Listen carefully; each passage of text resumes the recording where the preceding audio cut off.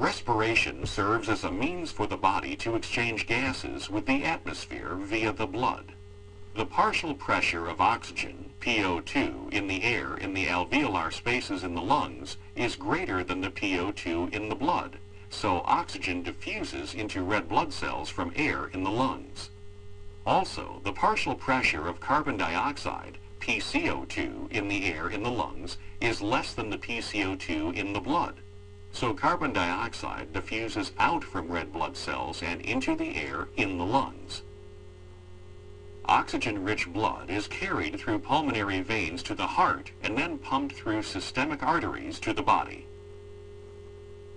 The PO2 in the blood is higher than the PO2 in the body tissues, so oxygen diffuses out from red blood cells at the body tissues.